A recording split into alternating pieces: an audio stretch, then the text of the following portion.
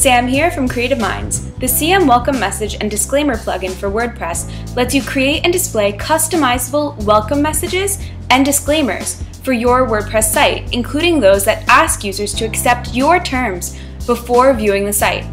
Why don't we start with some examples? So this first one is a welcome message. The user can read the message and then they have to agree to the terms in order to enter the site. The terms are actually a clickable link and then that user can check the box, accept the terms, and then enter the site. Our second example is a disclaimer. So this draws the attention of the user. It appears right when you open the page and that user also needs to check the box to verify that they're an adult and then they can enter the site and the message will disappear.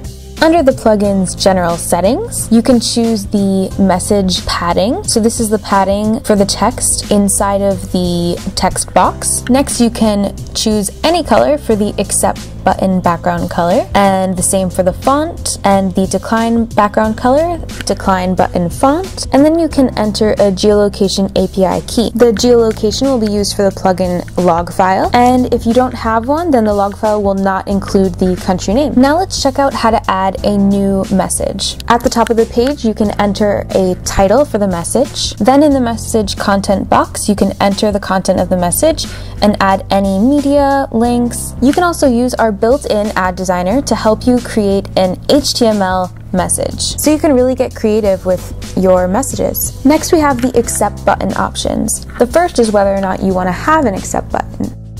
If you do, then you can choose a label for that button, for example, accept terms. Next, you can choose whether or not a user needs to agree to your terms in order to click on the accept button, and you can even enter the term text or link to a term URL. After that, we have our decline button option. So you can choose to show a decline button, and if so, you can give that button a label. You can choose to redirect the user to a particular URL if they choose to decline. Next, we have our display option settings. Here you can assign a specific width and height to the box if you so choose. The default is 250 pixels. You can choose a very specific background color and give your message either rounded edges or sharp edges. Under the advanced visual settings, this is where things get really cool. You can choose from a variety of different show effects, pop in, shake, a ta-da effect. You can choose how long of a delay you want between the page loading and the message appearing. The default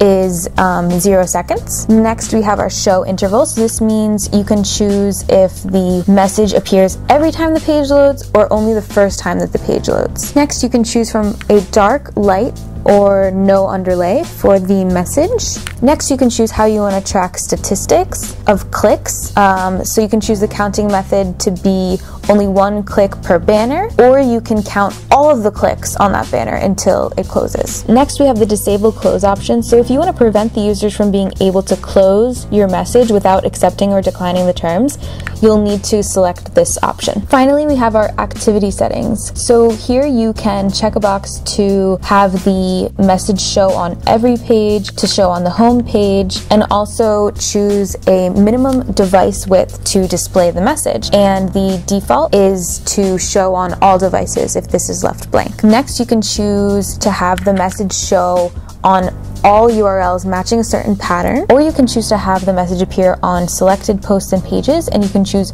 one or more here. Finally, we have our activity dates, and here you can choose a specific time period, for example, this coming week, for the message that you just created to appear on the site for a specific period of time, and you can choose down to the hour and minute when you want this particular message to show. So if you have a message that you want to create in advance to coordinate with a specific holiday, holiday or any campaign that you're doing, then this is a great option for you. Now let's check out the statistics. Here you can track each pop-up message's performance by time period. Under Daily Report, you can get a report by day of all the clicks, impressions, and accept and decline rates for each message.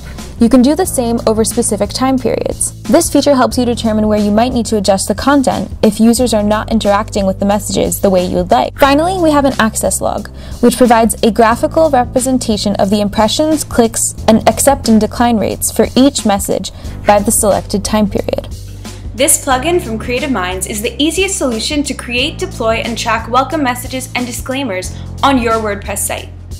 Visit cminds.com to download the plugin today.